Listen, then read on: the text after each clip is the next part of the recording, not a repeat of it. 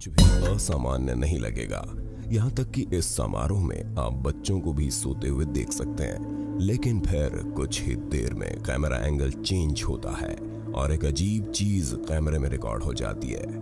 पहली नज़र में मालूम होता है जैसे यहाँ किसी चीज़ को कपड़े से ढक कर रखा गया है। लेकिन कैमरा थोड़ा जूम करने पर, आगे पीछे करने पर बच्चे के थोड़ा सिर हिलाने के बाद एहसास होता है।